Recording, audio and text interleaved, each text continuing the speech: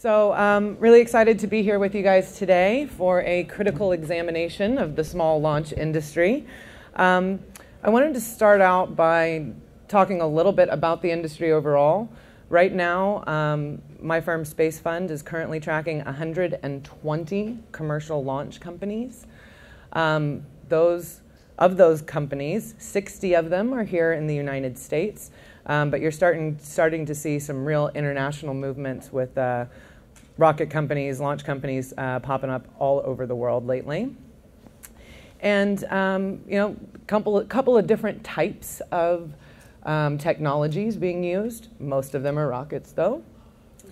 And um, by um, classification, how how much can be launched? Uh, we've only got one person working on Super Heavy. That's of course SpaceX, um, and 96 small launch companies.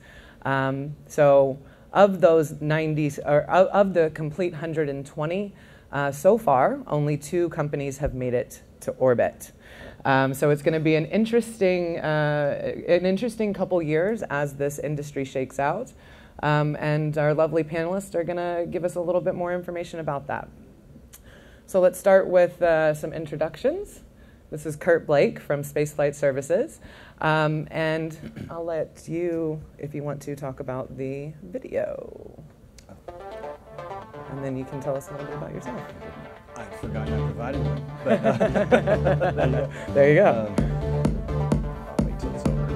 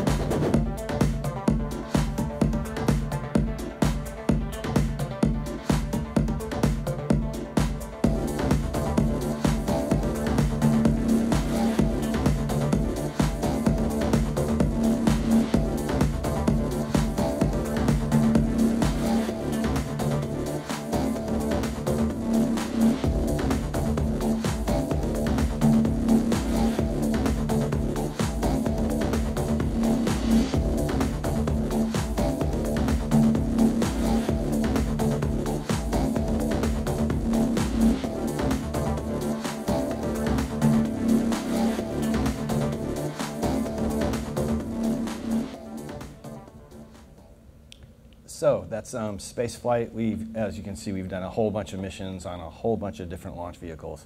Um, we basically buy up excess capacity on those vehicles, um, aggregate those with a lot of um, customers that we have for small satellites, and then get them launched. We are in essence a freight forwarder to space. We try to make the experience super seamless for our customers. So just like if you want to, you know, ship something from here to Australia, you don't really care what launch vehicle you're using or what, what airline you're using, what airplane it happens to be, what truck it is or make of truck it is that takes it from you know, here to the airport and conversely from the airport back to, the, uh, to whatever the destination is. You don't care about the customs issues, you don't care about the ITAR issues, you just want it to happen. You want to have your satellite in space when you want it there, and that's what we endeavor to do. So that's really, um, in essence, what spaceflight does. We're uh, customers of all these gentlemen um, and uh, hope to win everybody's business that has a satellite to launch. Next up, uh, Grant Bonin, who is Chief Engineer of Space Systems at Rocket Lab go ahead and let us know what you're doing. Well, thanks, Meagan. Uh, I was not offered the opportunity to upload a video. so, but we'll leave that alone for now. so, my name is Grant, um, the Chief Engineer for Space Systems at Rocket Lab. Um, for those of you who might not be familiar with Rocket Lab, it's a company that was founded in 2006 uh, uh, in New Zealand by Peter Beck, um, a company that's been privileged enough to be launching a dedicated small satellite launcher right now from New Zealand and shortly from the continental United States as well, with 35 spacecraft successfully delivered to orbit to date. Uh, Rocket Lab is a venture-backed company that has raised a total of $288 million to date and is a space unicorn. And really what we're working towards is a one-stop shop, soup to nuts solution for people's space missions. We've been flying our Electron small satellite launcher successfully, seven times now. And right now what I'm uh, getting the privilege of running is our uh, expansion into space systems. Um, I'll butcher that Heinlein quotation that if you're uh, if you can get to Earth orbit, you're halfway to anywhere in the solar system. Well, we're starting to think about the rest of the solar system right now. So recently at the Colorado Space Symposium, we announced uh, a next program that we're doing that we call the Photon Small Spacecraft Platform, which has been architected to work together with our launch vehicle and taken together as a bundled offering comprise a one-stop launch plus space segment solution for customers so they can hyper-focus on the thing that's actually going to make them money, which is their payload. And we will take care of the rest. And so that's Rocket Lab in a nutshell. Next up, Eric Salwan um, from Firefly. Go ahead and uh, let us know what you're doing. Hi. So Firefly is a vertically integrated cislunar transportation company. And what we're doing is we're creating a family of launch vehicles and space vehicles that will service from LEO to the surface of the moon. We're starting with our Alpha launch vehicle, which is a pretty advanced state of development right now. We're chasing Rocket Lab pretty hard. We're hoping that we're going to get Alpha up in the air on December 16th this year. So we have about 225 people in the US that are working on this project. Um, we've completed a 300 second hot fire of our second stage, so that was an integrated second stage. We're working on our first stage development, and then we're going to start working on building the flight vehicle. Down the road, we have a beta launch vehicle that we're going to work on, and that will give us the ability to do Constellation class launch. In conjunction with that, if you guys saw the news or if you didn't, we are part of the CLPS program. So we've been selected as one of the nine companies that will potentially deliver payload to the surface of the moon. And we have a, um, a partnership agreement with IAI Aerospace to use the Beresheet Lander IP to build a US version of the Beresheet Lander. So that will um, give us a Genesis lander. So with our beta and our Genesis lander, we'll be able to deliver payload to the surface of the moon. And then down the road, we're working on, we'd like to work on a very cool autonomous horizontal takeoff and landing vehicle called Gamma. And everything is on our website at firefly.com and go check it out. And I'm happy to be here and look forward to the panel with the rest of this group. Excellent, thank you. All right, JR, um, talk to us a little bit about Relativity Space. Well, thank you, Meagan. It's a pleasure to be here. So, uh, JR Francis uh, from Relativity Space. I just want to start by piggybacking on Grant's comment, was there was some communication amongst the panelists about using a video. Um, and we all collectively agreed not to use a video, but since Curt's the customer, um, customer is always right, so we don't have any issues with that. And, and, it was a cool video, too. It was a great video, yeah. Uh, just a little bit about Relativity Space for those of you that don't know. Uh, it was founded by Tim Ellis and Jordan Noone uh, about three, three or four years back. Um, we are developing the world's first autonomous rocket factory. Uh, at the center of that rocket factory is the world's largest uh, metal 3D printer called, called Stargate. Uh, it's developing our Terran 1 rocket, which has the capability to deliver about 1,250 kilograms to LEO orbit from our launch site in the Cape, LC-16, and about 900 kilograms to a, a polar orbit. Um, we've raised uh, about 40 million to date, uh, outraising Series C fundraising as we speak. Um, just cracked 96 employees. I think this week, uh, to put that in perspective, about uh, a little over a year ago, we were at 14 employees, so I've seen tremendous growth over the last 12 to 15 months. Um, as I said, we've, uh, we've got a launch site uh, right of entry at LC-16 at the Cape, working on the final stages of developing a launch capability for polar orbits as well. Um, some of you might have seen that we just expanding our infrastructure as well. We've uh, signed a uh, 200 square foot, 200,000 square foot facility outside of Stennis to do uh, first, first stage integration and printing. And uh, we're looking to secure a, a, headquarters outside of LA as well, which will be another uh, 200 square foot facility, 200,000 square foot facility uh, in, in, LA. So again, look forward to the panel and welcome any questions. Great. All right, let's get this. There we go. We can remember who everybody is. All right, so um, what do you guys see as, uh, you know, obviously these, there's a lot of launch companies. You guys are, are going after similar markets. Um, what do you see as the key differentiator for your business um, that's going to have you, that's going to help you be successful? Uh, so initially at Firefly, we um, started as Firefly Space Systems, and there's a lot of entrepreneurs in the crowd. Uh, raising money is hard. So Firefly Space Systems, at the time that we started it, we were working on a 400 kilogram to LEO vehicle. We ran out of money and shut down. And in the process of restarting, we took a look at the market and we saw that the payloads were getting larger and the capability that was needed uh, needed to grow. So when we came back with Firefly Aerospace, we came back with a thousand kilogram to LEO vehicle, which we feel for the small launch vehicle hits the perfect part of the market. So we could do aggregated payload missions for, you know, like for Curt, he can aggregate 630 kilograms, put it up to SSO. If you're looking at a OneWeb class satellite, you could put three of those onto a Firefly Alpha, and then you can mix and match those missions. We also have a, a roadmap to the future that we think is going to be critically important for us. Our beta vehicle is going to be able to give us that constellation class deployment ability. So then we could put up 20 to 30 OneWeb class satellites, and now we could bring that constellation class launch back to the US. I mean, SpaceX can do it, but they potentially are not going to be launching a lot of OneWeb satellites. So we think that's something that we'll be able to help out with. Yeah, sure. So I'll, I'll, take a crack at that one. So in terms of differentiators, we're very fortunate right now. Um, the best ability is availability, and Electron's flying right now, which is not an advantage that will exist in perpetuity. So we want to take advantage of it now and not rest on our laurels. And it's really why we've moved into, I guess, a new phase of our existence where we're trying to bundle both launch spacecraft and also mission, mission operations as a service to become that one-stop shop for anybody's space mission in whichever way it makes sense for them. Um, I don't entirely uh, see, I guess, the, the, economics the same way. We think that um, our economics are fundamentally a function of flight rate and high cadence, and bigger vehicles fly less often, they're harder to fill up. So we feel that we've found a segment of the market that can support high flight rate, good amortization of our fixed and operating costs, and therefore allow us to be responsive and offer very competitive pricing to our customers.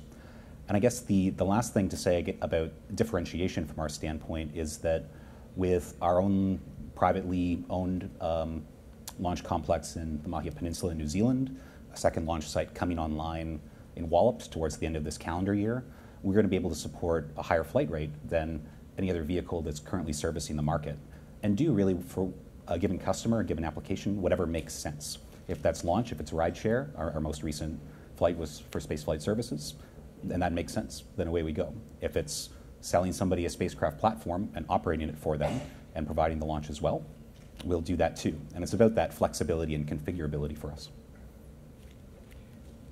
Yeah, I'll, I'll chime in. I think obviously our, our differentiator, our competitive advantage that we see is you know our manufacturing uh, capability in, in, centered around uh, 3D printing. Uh, we have a we have a, a, mantra that once we once we formalize our operational process, that we can go from raw material to flight in less than 60 days. And so that's obviously resonating with uh, a lot of the constellation providers and allowing them to trade, you know, having ground, you know, utilizing ground spares or deploying in, in orbit spares. If they have that capability that they can, you know, have a, have a, a, a, satellite sitting on the ground, and if and when they have a failure, they can deploy it to the specific orbit in, in roughly roughly 90 days. So I think that's a that's a competitive advantage that that uh, that, that, we're, that we're targeting. Ours is, um, is, is actually very different. It's a different business. Um, so we don't have our own launch vehicle. We use these guys and other folks. Um, and what we see is that launch vehicles over time are subject to delays. You know, they have technical problems, production problems, whatever, uh, or worse. And what we try to do is be the layer between the launch vehicle and the customer so that if the launch vehicle has difficulties, if the satellite's delayed, in being ready for the launch, we can basically take them and move them to a different launch vehicle, charge them a change fee for it, and then backfill that capacity with another customer because we do enough volume to do that.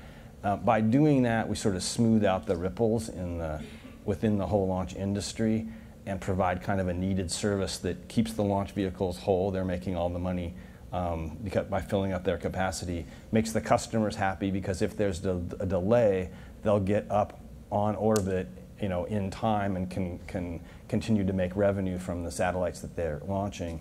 Um, and overall, make, and the new customer then gets basically a subsidized spot, partially subsidized spot, on, uh, on the launch vehicle space that was, that was uh, vacated. So that's a, that is a very different, obviously, model than what these gentlemen do, but that's, that's the differentiator. Excellent. So um, let's kind of take this the opposite way. What's the biggest threat to your business model? Hmm. If the customers disappear. no, I, I, you know, I, I think the, you know, the biggest threat from, from, from our standpoint is someone would come in with a, you know, could 3D print a rocket quicker than, than we could, or had a, you know, a, a technology that could support our customers in a better way than, than, than we could. But, you know, I, I think in general, I, you know, I think we're all here because there, we feel that there's a real market and uh, the customer demand. You know, I think there's a lot of there's a lot of negative, sometimes negative press associated with the 117 odd launch companies that are out there and all the new space communities and how many will survive and uh, well, you know, how many won't survive. But I think it's what's what's more interesting is you say what's you know how do you look at how do you envision the the, you know, our industry in 10 years? Um, what, what's it going to look like? And I think all of these companies, whether it's 117 launch companies or all the, they're just pushing innovation and trying to increase technology and increase access to space. And I think what what's important is how can we, you know, how can we leverage the technologies and the best practice as a group so that, you know, in the end, our end customers are, you know, having uh, increased access to space and, and, at the right price. From my standpoint, it's, um, it's if there's orbital debris at a large scale. So if there ends up being some accidents in space where satellites are colliding or, or they're shot down or whatever, then clearly getting to space becomes a, a, difficult thing, which would put us out of business. So I think that's kind of what I see as the biggest threat. And I think you know, we're working on that as a, as a country and as a world um, to put basically space traffic management in place. Because you can imagine what you know, the airline industry would look like today if there was no air traffic control. It would have sort of got to a certain point, planes would start running into each other. That probably would have you know, diminish demand a slight bit. And uh, so I think that's, that's sort of what I see as the biggest threat. So I think um, from our standpoint, aside from the risks of either market failure or technology failure, I think a concern that we have is whether the pace of regulation and the regulatory bodies can keep up with the flight cadence that we're working to achieve. Right now, we do produce a full vehicle per month. Um, our first launch complex in Mahia alone is licensed to fly to support launch once every 72 hours. The demand continues to ramp up on us, but the ability to go from order to orbit in a very short period of time for our customers is fundamentally um, a strong function of licensure. And they're very vulnerable to licensure delays. Now, we, and, and we recognize other people's work in this area, of course, work very proactively with the FAA um, and other regulators to make sure that these processes are streamlined and we're seeing a lot of progress in those areas in particular right now, but I'd say that would be a thing that could be the rate limiting step for us as we scale and fly increasingly often. And I, I'd say our biggest threat is that we don't execute our plan. This is an extremely competitive environment. We need to get to space. So the people that get there first, like Rocket Lab, start to capture market share that's going to be very hard to wrest from them. So that's why we're driving very hard to get to space this year so that we can go out there and start capturing market. And once we do that, we feel that we're going to be successful. If we're on the ground, we're not going to be successful. So it's imperative to us to succeed. So um, the industry seems in, in danger of being oversupplied in the, in the near future um, if everybody's plans go as they should, and, you know, even if only a few of you um, are successful. So, is there is there a bubble? Is it going to burst? And um, if so, is this industry consolidatable? Right? Um, can, are are companies going to be purchased? Um, what, what are your thoughts on on the bubble and the burst? It's a bubble. we, we, we, think that it is a bubble. We think that when the dust settles, there'll be room for a handful of successful companies, and they'll be differentiated across payload size and the specifics of their offerings to a reasonable degree. But the, the, the demand is not there to support the number of entrants that we see in this space, despite how cool a lot of their concepts might be. Um, and of course, we think of it, as I mentioned before, as a bit of an extreme value problem where the largest launch vehicles you could conceive of, while cool, aren't going to fly often. The smallest ones become impractical or unable to loft useful payloads for useful customers. So the ones that we think will be left standing will be the ones that are in the middle, more biased towards the small size. And then I think to the question of whether it's consolidatable, uh, the, the, hot take would be no. Uh, a lot of these companies, I think, are, are oil and water compared to each other. They have such fundamentally different technologies, fundamentally different people uh, and personalities and investor types. Um, I just think, unfortunately, a lot of them are, gonna, are, are not going to make it. But so it goes when you're exploring a new market like this. And um, you know, we do wish everybody success. Um, but I do think it's a bubble that's going to pop and might poison the risk capital for new launch for some time. And, and to an extent, I would, I would agree with that. I mean, this is very much like any other market. If you looked at the internet when it first started, many, many companies came out and had great ideas for the internet. Certain companies executed. You have your Amazons, and a lot of other companies didn't get there. So launch is going to be incredibly lucrative for the companies that succeed, and that's why you have 120 companies chasing after it.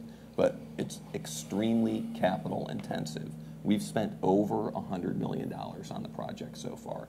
So that's what it takes to build a Firefly Alpha class vehicle. You're going to have to go out there and raise $100 million. You're going to have to go out there and build a pretty large team and then you're going to have to execute on a, a pretty tight timeline. And that is that's going to thin the crowd pretty well. And then there will be a variety of companies that are left at the end, and there needs to be because, just like Curt said, people are going to have anomalies, people are going to hit slow points. You have to be able, if we're going to have a healthy market, to move um, payloads from vehicle to vehicle. And by doing that, you're going to assure people they can get to space. And if they have a business plan that depends on them being on orbit, then they'll be able to close their business plan with the assurance that there is going to be a vehicle out there that's going to get them to space. And I think I think we we all got asked this question in, over and over again on the variety of different panels, and I, I think we can certainly all agree that there is going to be some amount of contraction and consolidation in the industry, and a certain number of customers uh, will in, inevitably fail.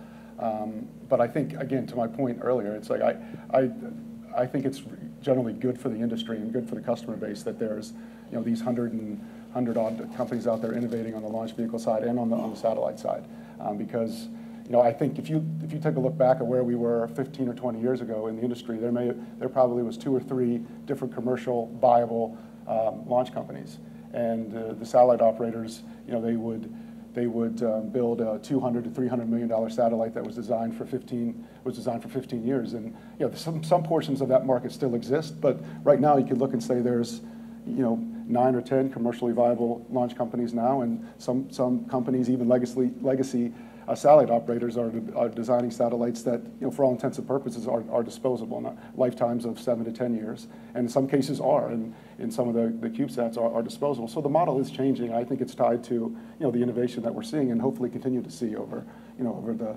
over the, um, the next five to 10 years, assuming the bubble doesn't pop before. all right, give me a number. How many companies you think are going to survive? Probably high single digits. To, I mean, small. We're talking about small companies, not the ones that are already there. Yeah. I mean, I, I, don't think it'll get out of the high single digits. Yeah, I agree with that. So, of the 96 small launchers, you think eight or nine will survive? Is that what we're saying? 10%? Yeah. All right. Um, so, where do you see the industry in 10 years? It's going to be cool, man. it, it, will be. There's, there's going to be a ton of vehicles. I mean, there's just we're building the infrastructure to space. We're going to allow people to go out there and have these crazy ideas and put them on orbit, and then, and then this whole cislunar economy is really going to expand in ways that we can't even predict right now. The same way that when the iPhone came out, and you're looking at it, and they're like, "Oh, these apps are cool," and everybody's like, "What's an app?"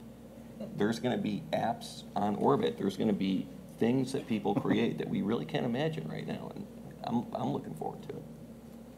I think um, personally, anyway, I, it, you don't have to look too far into the past to have seen a world where our future in space and our activities, our activities in space depended on the choices that a couple billionaires in four countries made. And one of the reasons that I got into small spacecraft development in the first place, and, and small launch now as well, is to create space programs for the rest of us. So fast forward 10 years, I have a very optimistic vision of what that's going to look like. I think it's going to look like a larger number of smaller spacecraft doing extremely high value missions for real customers throughout cislunar space. Um, and that's really what got me excited in the very first place and getting into this industry. And we're starting to see that come to fruition. There'll be some of the mega constellations will fail. We talked about the launch vehicle uh, consolidation or contraction, but by and large, I see the activity uh, in low Earth orbit and beyond only increasing, enabled by a larger number of smaller uh, players. That's my take. Yeah, I, think we all agree. I think you can envision in 10 years, you can you know, be potentially people and infrastructure on the moon, maybe coming back and forth from the moon, um, and same way, you know, bridging that bridging that gap to, to Mars as well. Um, you know, I, I, don't know that I highlighted when I started, but our, our, our vision, uh, the company was founded on being able to, to print the, the first um, rocket from Mars. So, so you can, you know, our goal in, in 10 years, our long-term goal was to have some sort of small prototype Stargate, miniature Stargate that's, uh, that's on Mars and printing some sort of uh, test component. So that's, that's in our, our 10-year plan. It's lofty, but that's, you know, that's, how we, that's how we envision the market uh, potentially being in, in 10 years. Yeah, and clearly as, as the supply of launch vehicle capacity goes up, um, you know, that, that creates a whole bunch of different opportunities for people to come up with new ideas that are relying on a cheaper rate. Wow. Supply and demand. There you go. New ideas. Excellent. So, um, when let's talk a little bit about price. Typically, in a situation where there is a lot of supply, you see a you see a significant downward pressure on price. So, um, do you guys have room in your business model for for those launch prices to go down? Can you still be be profitable if the competition uh, becomes a price war? We can because we're sort of in know, the middle. In the middle. Yeah. Um, I thought you were going to ask like, what's the per kilogram rate that's going right now, or something like that. But um, yeah, we can survive well, through. we can you know, when, about when, that. when what, it was what super you... high, as it's you know, it's it's starting to come down now. But right today, today speaking of sort of out through mid twenty, um, there's way more demand than supply, um, way more, and that's an issue, and it's a hard one to, to try to solve. So that's the current state of things. Maybe in the second half of 20 there'll start to be some catch up there. But right now, there certainly isn't. Any comments? Yeah, I mean, I, I, I think we, I think we, we, our Terran One rocket right now for a full, full dedicated mission is, is $10 million. So that's for that 1,250 kilograms to, to LEO from the Cape or the 900 kilograms to a, a polar orbit. And we think that's, that's, um, that's pretty, you know, pretty competitive, competitively priced um, in, in the market. And we, you know, we, we would also think that our vehicle um, is competitively priced. We're $15 million, so again, that's why we have to get to space and start capturing market share because there are going to be other companies that come along that are going to advertise a, a, a lower price, and that's going to create competition and downward pressure. But we have pretty healthy profit margins, so I, I think we're going to be okay.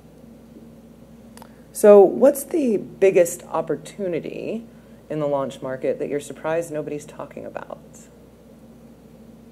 So, the I think it's at least from our perspective, it's it's a little bit it's a little bit what we already said, and I don't think it's that anybody's not talking about it, but I think some people put it by the wayside. It's for us, it's um, consolidating the launch segment, space segment, and mission operations into a single service and flying as much as we possibly can. Frequent flight is the core, um, the core thing that launch companies need to achieve for their economics to make sense, to realize meaningful price reductions, everything in between. And what we see in this space, I think, and it does still surprise me, is a lot of people who become enamored with a particular technology or implement, an implementation decision on the engineering side, but they're not hyper focused on their economics or how their economics are going to play out or what is going to happen if we enter a regime of elasticity that doesn't exist in launch right now.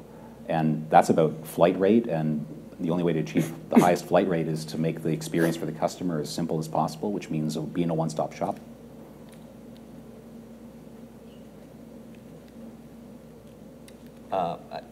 It's it's a pretty well traveled um, question. I think one of the, some of the things that we're doing, which which are cool, is the orbital transfer vehicle. So that's an in space propulsion vehicle, and other people are working on that. But we think it's going to really uh, give people more options for on orbit missions. So we'll be able to deploy satellites off of that, drop them off in different orbits and then with the electric propulsion, it can actually do longer missions. It can get to lunar orbit. We can do small geo missions for it. So we think that is going to open people up to different missions that they can fly. Um, from our standpoint, I think the biggest opportunity right now is the um, is GTO missions. There's we did the um, SpaceIL lunar mission um, back in March or February, uh, and also deployed a, another uh, a satellite to GEO. So we're seeing a big uptick in demand for those those types of missions. So I think that's um, moving from LEO, not moving from, adding um, GTO and GEO and what these guys talked about, going to the moon and, and wherever from there, uh, definitely is becoming uh, an increasing part of our business. So. And um, aside from the mega constellations, where do you see um, future demand coming from for launch services? What are the what are the cool things that are coming down the pike that you guys are going to be launching? That's uh, besides the constellations. Well, for us, besides the mega constellations, there's probably like 40 kind of moderate-sized constellations. You know, 60 and below um, satellites, maybe a little more than that. And uh, we're, I think, we've we are launching or have launched for probably 35 or 36 of those. So I think that's those sorts of repeat customers are really key to our business. It's something we really look to because um, if we do a good job for them, we can get them up on orbit um, in a timely way. And if we solve problems that would have been difficult for them to solve had they gone direct to a, a specific launch vehicle, like a problem occurred, like the, the Vega, you know, recently. But we've, we've definitely, in, in our seven years of existence, have encountered other anomalies and had to move people around between um, different launch vehicles. And I think when, whenever we do that, it's difficult, it's hard to do, but it really proves the value add, and it's really compelling to those constellation providers. I think um, kind of echoing that, the um, the concern about hitching yourself to one customer, um, I'm sure people in this room have experienced that before. Um, having a large number of diverse customers and a balanced manifest that can engage kind of in equal parts or in whatever parts make sense, defense and civil and commercial, is really going to be that key because I wouldn't want to wouldn't want one uh, one company to hitch themselves to one contractor, one customer, and then have that all pop on you. I think Point, I think differentiation uh, is key.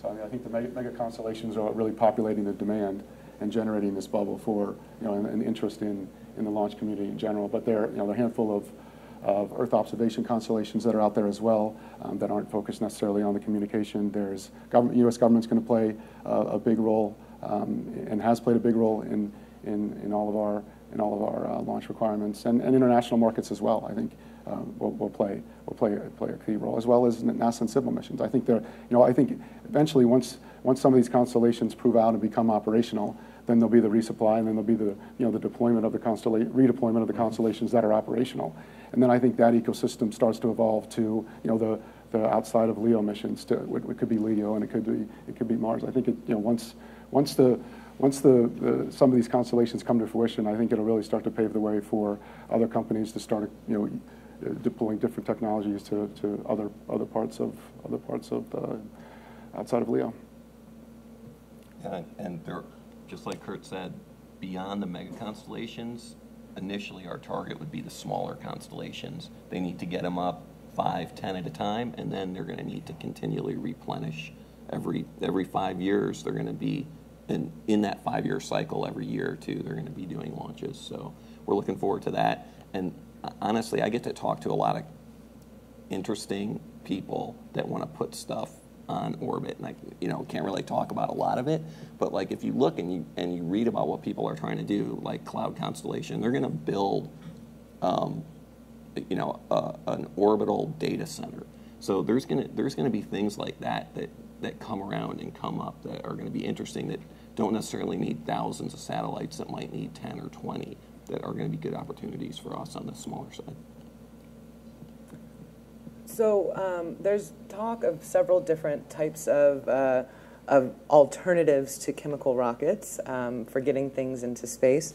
Some of those are kind of very high G scenarios, right?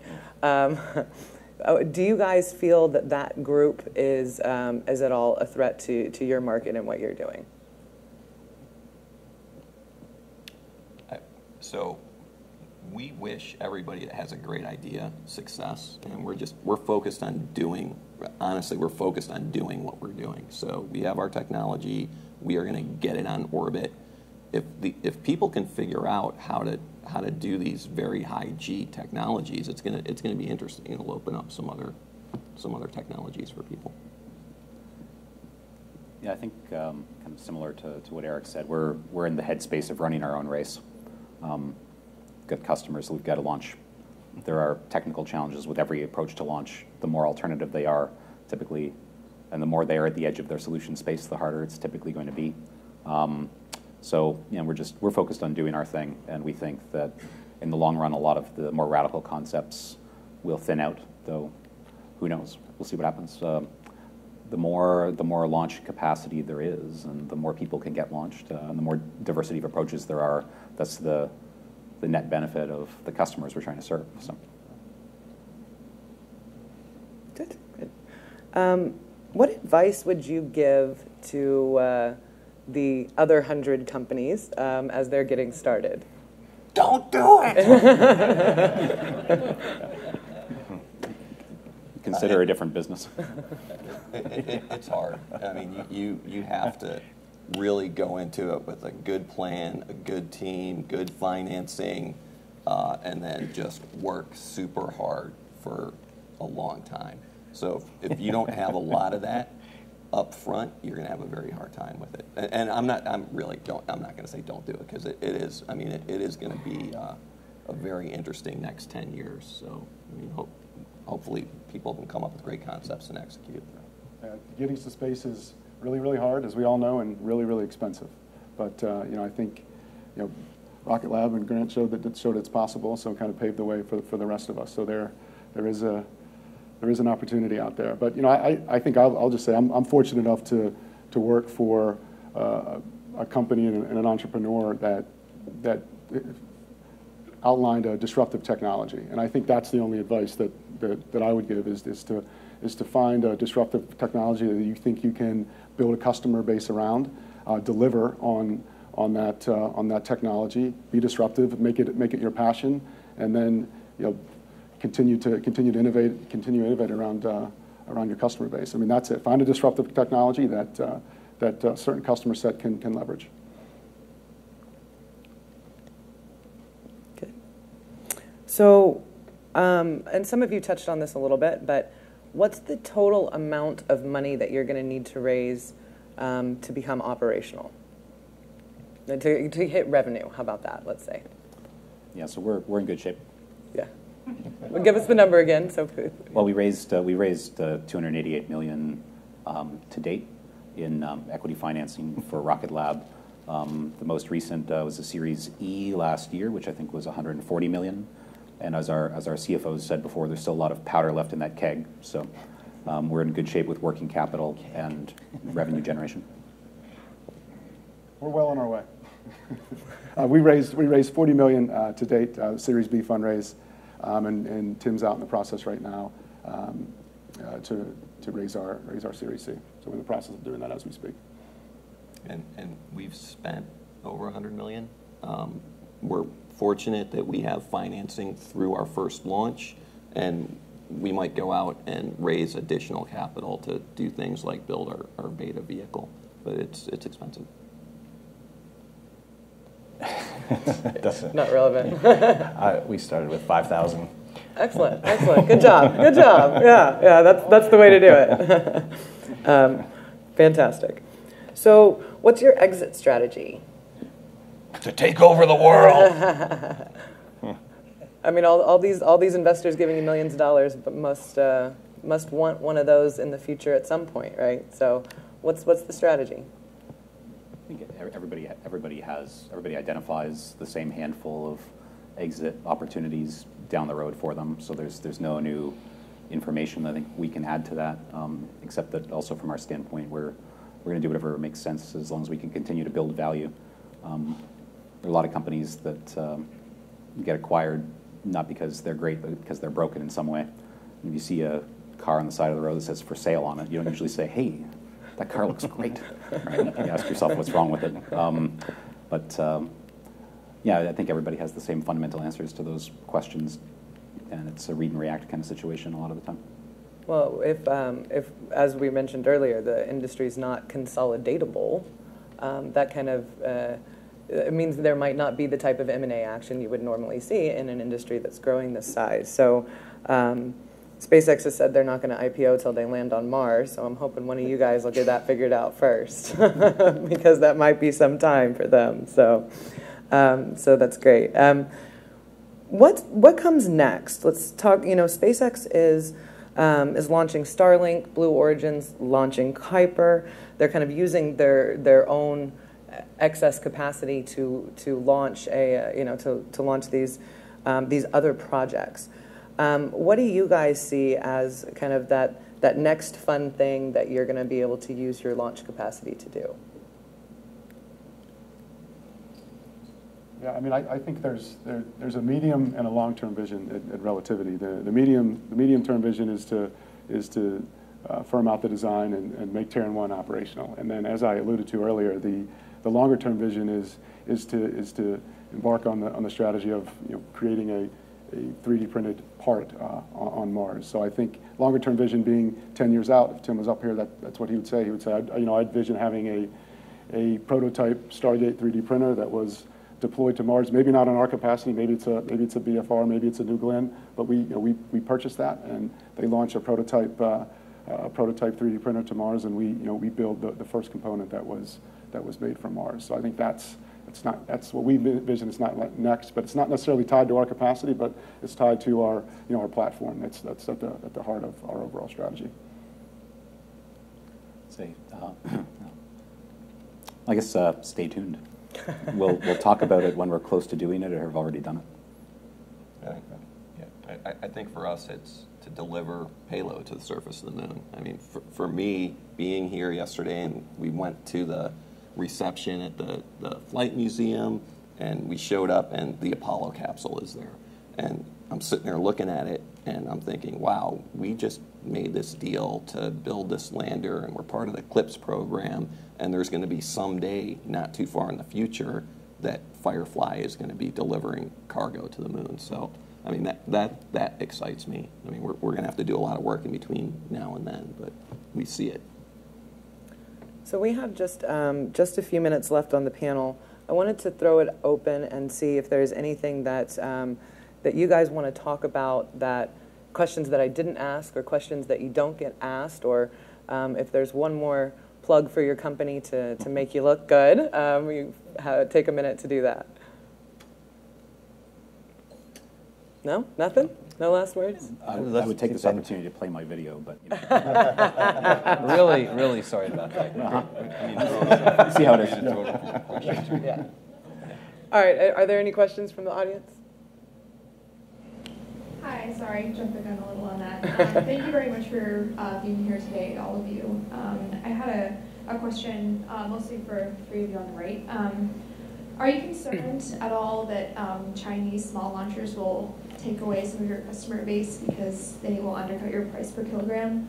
Um, even taking into consideration um, the increased risk of flying on a Chinese small launch vehicle or perhaps perceived increased risk, do you think that there's any danger of them taking away some of your customer base?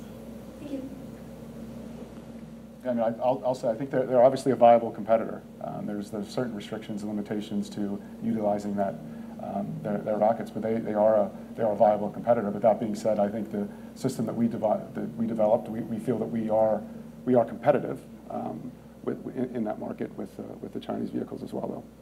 I think that the key, when you talk about a, launch company's total addressable market. I think the key word there is addressable.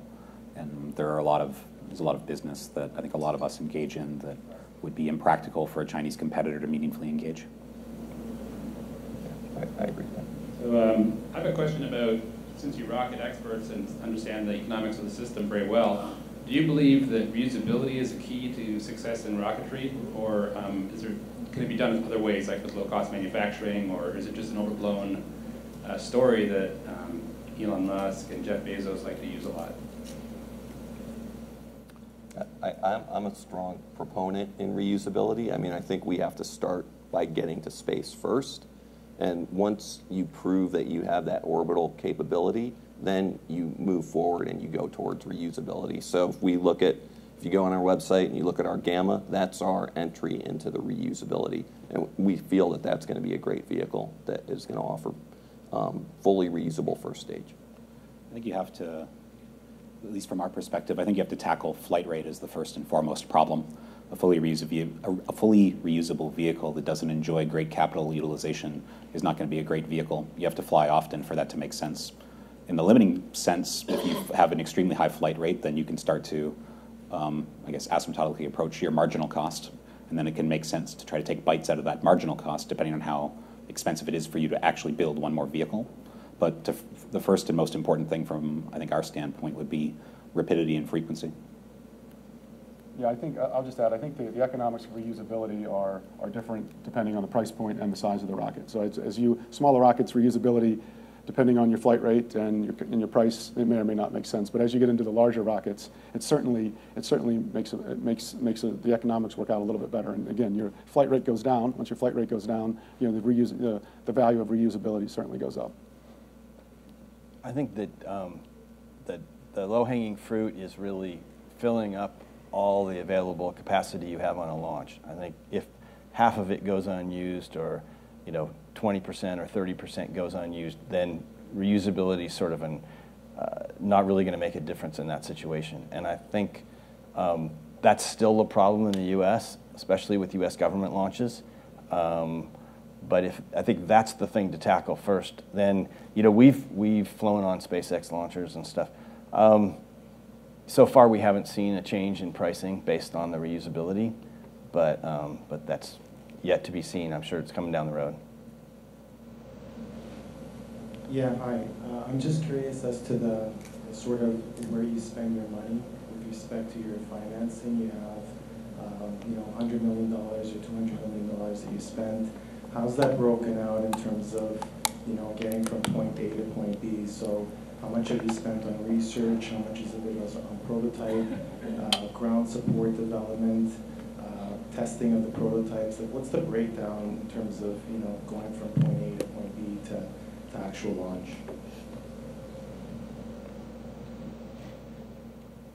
Uh, it, I mean, it's difficult to provide exact numbers, but if you look at it, so right now we have 225 people that are working on the project. Uh, you just look at the fully loaded cost of an FTE, that's a big chunk of the money right there is that 225 people. We have a 200 acre test site that we built from the ground up. Tens of millions of dollars have been invested in making that a world-class facility. Then you have to, you know, develop the launch facility, or in our case, we were fortunate enough to be working on a Slick 2, so we need to upgrade that facility, and then you need to actually produce the, the vehicles.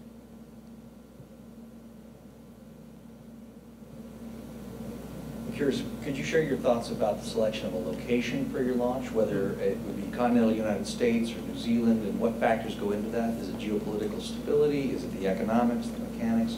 How did you select, and do you see a change in the future as the, um, the frequency of launch goes up?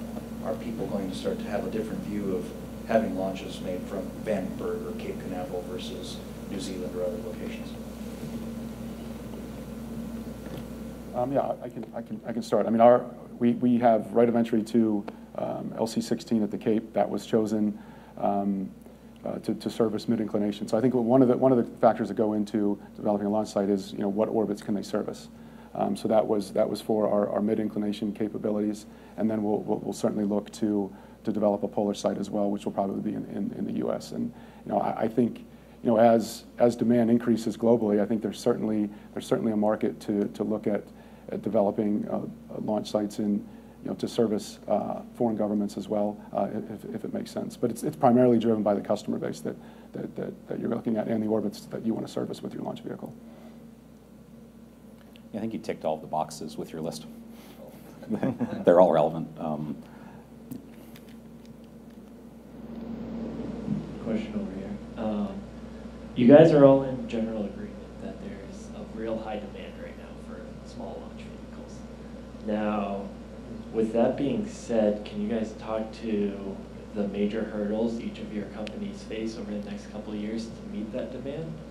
Um, for example, more specifically for you, Grant, you mentioned that you have two launch sites. Well, one, the second's almost up and running, uh, and that the complex is capable of supporting a launch every 72 hours. Uh, can you speak to your current production rate of your vehicle and what it would look like at its and when that would be? You know, I think we're really only I think we're really, really only heating up on production, but right now we're um, building a vehicle roughly one per month, which is um, a fantastic rate. Um, we're only looking to increase our production cadence. Uh, the challenge in front of us is to scale to meet that demand. I think you identified it in the question, and that's um, that is where a lot of businesses hit the um, the not very sexy but most significant uh, problems to solve. A lot of companies fail when they try to move into more of a production mode and have to scale. And so we're extremely focused on doing that carefully and doing it right. And so far, it's scaling nicely. But there, there, there are challenges associated with yeah, production to meet demand ahead of us. Um, these are good problems to have, of course. It's better than the challenge of having no customers. So.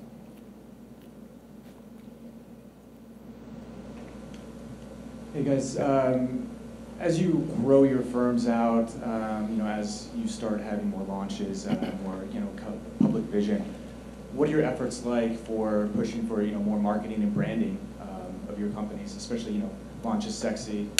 You know, how do you connect with the public? Is that important, or you just focus on, you know, customers?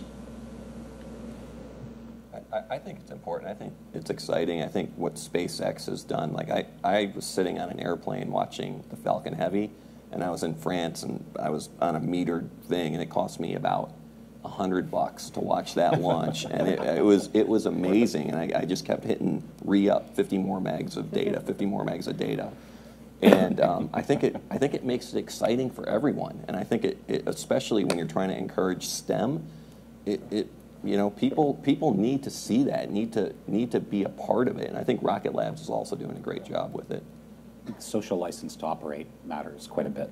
So.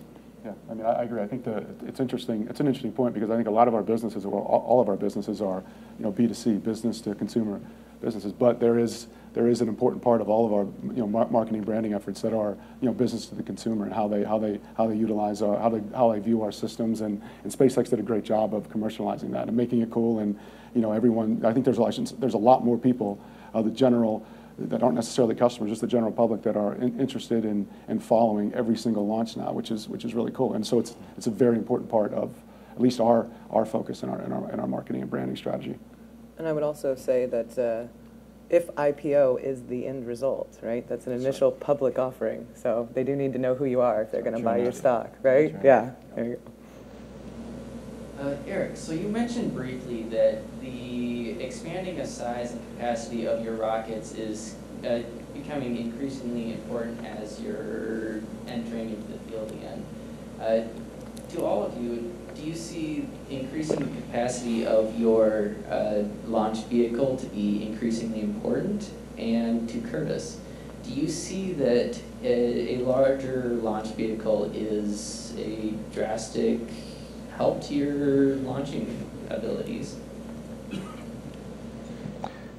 Um, I'll take the, um, since you named me. um, we, we've done a couple of Falcons, and um, I think really that you can certainly do those and aggregate a whole bunch of, of uh, small satellites onto that. Um, for LEO, but that's a difficult proposition. I think you're, you're really better off taking a mid-size or a small-size rocket um, and ride sharing that and making sure that you're using all the performance of that vehicle so you can bring the per kilogram price down to something meaningful. Um, for geo, it's a different it's a different ball game because the performance is so different. So, but I think that for geo that matters, and for going to you know cislunar or other things, then I think absolutely uh, a larger rocket is super helpful. Uh, if you're going to LEO, I think that having a mid-sized rocket is just five, 500 to 1,000 kilograms. Um, that's plenty to, to, for us to aggregate, put enough customers on there to make you know, a nice mission that makes us some money, makes the launch vehicle provider some money, gets, gets customers up there at an affordable price. And I, I, I, I think that we're in a different market than the SpaceXs and the Blue Origins. I think they have that pretty well covered. And we're aiming to cover the market below them. So we need our alpha to do particular missions, and we need our beta to do other larger missions. And we think that combination of the two is going to allow us to, to capture a good portion of the market. I think we have time for one more question. Hi, uh, Maloney here. I'll ask you guys a completely different sort of uh, domain question. Uh, since you guys are all targeting like high cadence launch and aggregation of lots of different satellites, I'm wondering if you guys have, have any role to play in the future sort of mitigation of the pending space debris problem, because higher cadence launches is going to bring that problem closer to the present day. Well, I think this is like I mentioned um, earlier. I think that um, having space traffic management's key. I mean, just as the, the same sort of issues as air traffic, I think you've got to make sure that if they're going to have that kind of high cadence, that that's something where you're not going to be, you know, just risking a bunch of people colliding up there. Um, so I think that's important, and I think there's also a lot of innovative um, customers that are customers of ours that are coming up with innovative ideas on how to mitigate the space debris issue, and and basically clean some of that up. So I think I think yes, there's that's always a potential issue, and a higher um, launch rate certainly, all things equal, would contribute potentially to a problem. But that just really means we've got to look out for space traffic management and start coming up with solutions to some of those issues. Yeah, I, I think it's a shared responsibility. Um, you know, we have started looking at uh, deorbit modules that um, we could use to help deorbit our stages faster. Um, do you do additional burn? You know, how, how do you make sure that you leave the smallest footprint possible Yeah. on orbit after your launches? And, and it, it is, it's critically important. Yeah, we, we put a sail on, um, if you remember from the video long back, uh, there's, there's a couple of, uh, of Sherpas that we used to deploy a whole bunch of spacecraft off. We actually, what didn't show is there was a sail that deployed after that that brought those two, the lower free flyer and the higher, and upper free flyer, down much more rapidly they would, than they would otherwise have gone. Excellent. Thank you very much, gentlemen. Thank you very much.